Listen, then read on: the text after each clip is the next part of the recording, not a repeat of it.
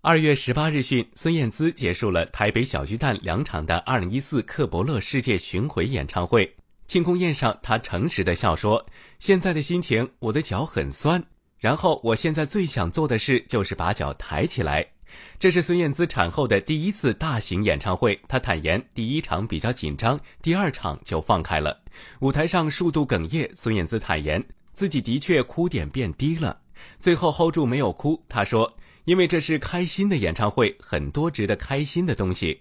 招认哭点变低的孙燕姿也说，最近一次大哭其实就是为了儿子。大概他六七个月的时候，那时我真的很崩溃，因为觉得自己做不了好妈妈。